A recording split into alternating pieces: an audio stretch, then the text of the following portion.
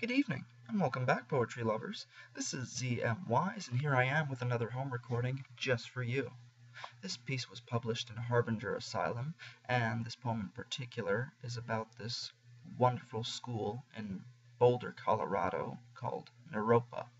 And the poem is pretty much about how I really want to get into this school.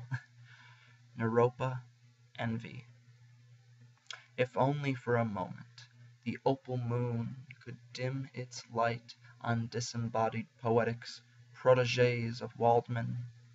The peace activists study every aspect that put their goals in line. The eco artists plant their seeds in the newfangled ground where earthworms tailgate the next monogamous feeling. They are aroused by photosynthesis. Eat the light. Absorb the light. Consume the light. Watch the flowers erect themselves. The circle of life walks the same walk, but steps in the opposite direction. Moonlight mountain madness sways like waving palm trees in the central area. All travesties tremble and dissuade newcomers to repeat false prophetic warning nights. Sip on your glass of cultivation. Defend your thesis to the bitter end. It is both an infant and a milestone. The frat parties are meditation gatherings.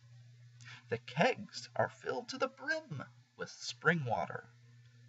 Before graduation takes place at the Castle of the Sun, enroll and enlighten an aspiring collegiate. Thank you very much. Poetry lives.